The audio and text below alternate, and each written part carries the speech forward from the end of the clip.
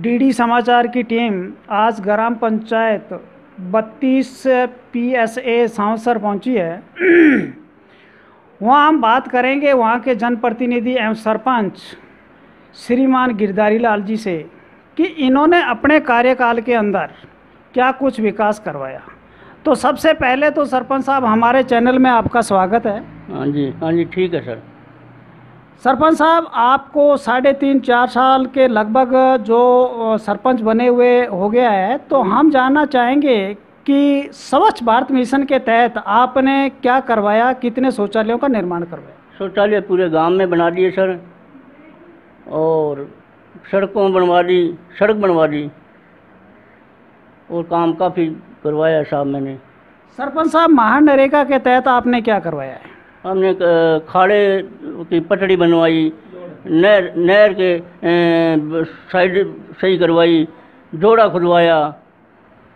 सरपंच साहब स्वच्छ भारत मिशन के तहत आपने शौचालय बनवाए? हाँ जी हाँ जी। कितने शौचालय बनवाए? शौचालय करीब होंगे दो सौ के करीब सर। और प्रधानमंत्री आवास के तहत कितने लोगों को लाभ दिलाया है? प्रधानमंत्री आवास के हमने 20-25 मकान बना दिए हैं। अभी और बनाएँगे बीएडीपी के तहत आपकी पंचायत आती है। बीएडीपी से आपने क्या करवाया है? खाड़े बनवाए सर। नए खाड़े बनवाए या डाट कवरिंग करवाया? नए खाड़े बनवाए सर। सरपंच साहब मैं अब जानना चाहूँगा कि एमएलए एमपी साहब का कितना सहयोग रहा है आपके इस ग्राम पंचायत को रहा है साहब सहयोग अच्छा सहयोग रहा है? हाँ बजट मिला है आपको? हाँ जी बजट मिला है।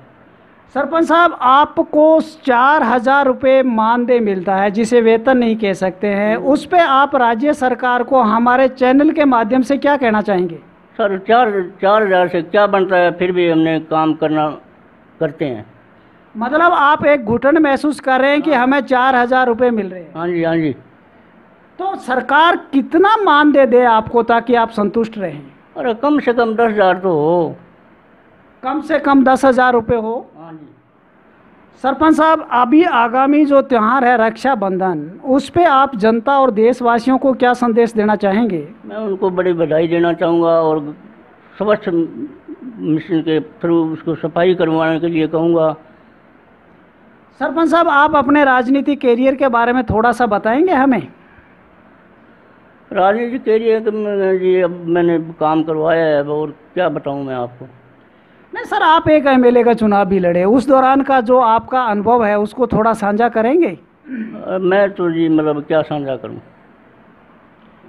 देखते डीडी समाचार से मैं मुंशीराम डागला।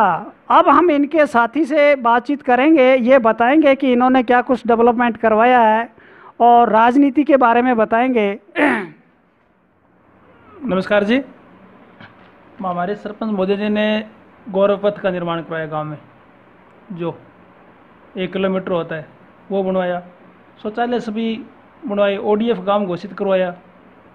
और जो भी काम मान लो कि पंचायत में, घर में थे, उसकी चार दीवारी वगैरह, स्कूलों में कमरे का निर्माण करवाया। बहुत से विकास कार्यक्रम हम उसकी कुछ प्रशंसा कर नहीं सकते। इतने काम करवाए जी। देखिए डीडी समाचार से मैं मुंशीराम डागला, देखते रहें डीडी समाचार।